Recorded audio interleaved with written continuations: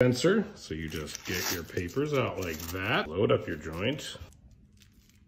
You get your filters from your little filter holder here. Put that in your joint. We even give you an ashtray. Isn't that adorable?